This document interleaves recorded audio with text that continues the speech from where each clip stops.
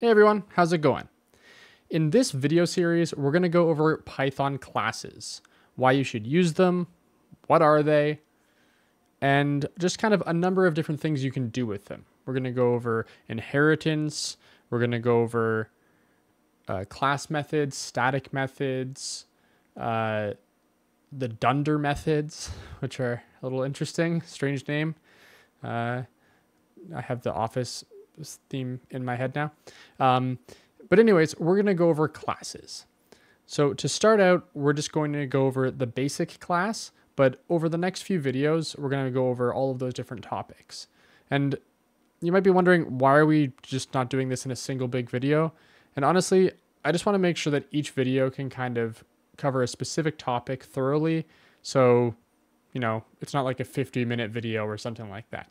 So first off, why do we want to use a class? Well, classes are actually used in so many different programming languages. Uh, if you ever see OOP or OOP, it's not pronounced OOP, but OOP stands for, stands for Object Oriented Programming. And basically, what that means is it's the use of classes within the programming language. Classes are used in basically any major programming language you can think of. There are kind of two main types of programming paradigms functional, which really just use functions, which kind of the name, and object oriented programming, which is again like Python, Java, uh, Kotlin, C, C sharp, uh, so many things. Um, so many different things, Python, and even JavaScript. So many different things can use classes. The reason you want to use classes is so you can contain your data and functions for that data in a specific place. This allows you to reuse it very easily and also build upon it if you need to build more functionality for it. Some other great reasons to use classes are inheritance and polymorphism, but we'll go over what that is in future videos. Just so we're clear on some of the terminology, a function that is associated with a class is typically called a method. And any kind of uh, variable that is associated with the class is called an attribute. So if you hear me kind of say attribute or method, that's what I'm talking about. I'm talking either about the function that's within a class or a variable that is associated with the class as well. All right, let's get to it. All right, so one of the main examples that you usually see when talking about classes is the employee class. If you watch any other YouTube videos, you'll probably see the employee mentioned. But just to kind of mix things up a bit, let's change it up. In our case, we're going to go over the Pokemon class. So we're going to create a class called Pokemon. So in order to do that, we can just say class Pokemon and press enter. Uh, and we're just going to type pass here. Pass just means that we're kind of just skipping the rest of the implementation for this, um, but this is still totally valid. So we're just saying this is kind of like as though we're putting something here, but it's not being counted for anything. Then what we can do is we can create a version of our Pokemon. So let's just call poke uh, bulb equals Pokemon, and then bulb dot uh, name equals Bulbasaur, sor uh, bulb dot type equals grass. I know he's also poison, but whatever. Uh, HP equals 45. All right, so we have some pretty interesting stuff here. Um, and now let's print off what bulb is. All right, so if we want to go ahead and print out out bulb here, we're going to see that it is of type Pokemon. And if we decide to print bulb.name, we can also see that we actually get Bulbasaur because we've set the name of the Pokemon to be Bulbasaur. Now this is great, right? We can create as many Pokemon as we want, and we can see if we print out bulb that the type is Pokemon. So sounds correct to me, right? But one of the issues with this is that we can't really use this code very easily right? Anytime we want to create a new Pokemon, we have to type whatever the, we have to create a version of the class, and then we have to set the name, the type, and the HP, right? It would be much better if we could just pass it to the class and it can kind of just deal with it for us. So let's do that. So instead, we're going to set it so that we can set the, the name, the type, and the HP within its constructor. Now, in order to do this, we then create a def underscore underscore init underscore underscore and pass self. And then we're going to pass name, type, and HP. Now, So what is self? Well, self can actually be named anything you want, but if you ever see any classes created in Python, it's probably going to use the word self. It's not actually a keyword, but self is kind of what is used, so you probably should just use self. Now, self is actually a reference to the class itself, the object of the class. So why is that important?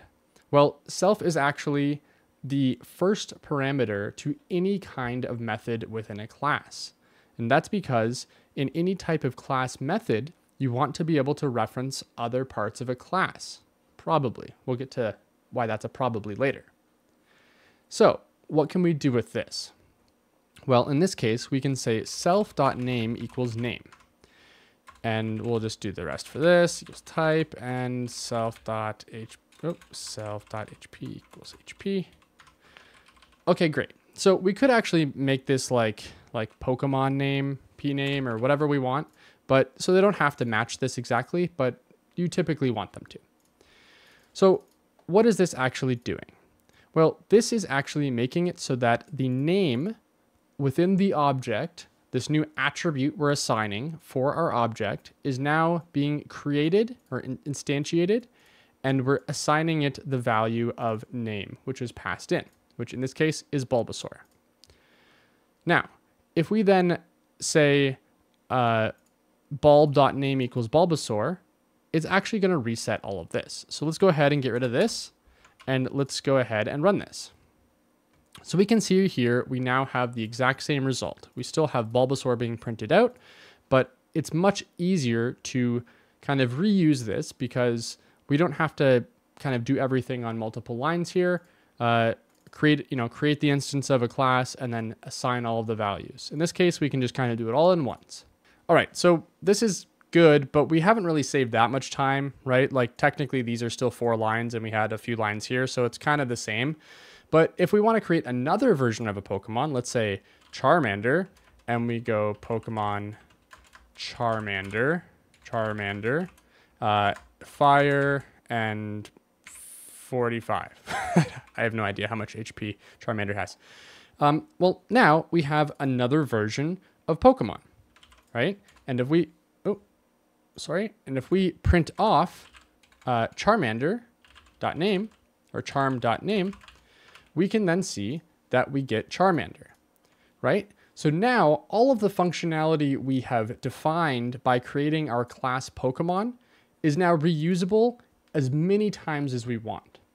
So, so far, this is still already saving us some space. But what if we wanted to do something like, rather than just printing out the name of Bulbasaur, we can, we want to actually get the, uh, the attack, let's, which, which let's add on here, uh, self dot attack equals attack. See how easy that was? Say 49. Uh, I think it is actually 49. I had to look up this stuff recently. Um, so let's see, let's say that maybe we wanted to be able to print out um, some kind of thing where we did like this, and then we did format, and then we did bulb dot um, attack, and then we did bulb dot type, right? So then we're saying that there is an attack uh, of type grass. So if we run this, we can get 49 attack of type grass. Because Pokemon have like resistances and they're stronger, you know, like fire is good against grass and all that kind of stuff. If, if I'm losing you here, it's totally fine.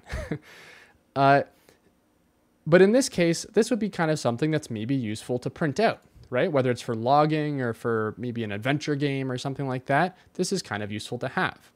So we can just have this functionality right here, right? And just kind of maybe create another function where you can pass in the attack and the type, and then it can kind of do all this for you. But instead, we can create a method within our class. So in order to do that, we can say def and then attack log and then self.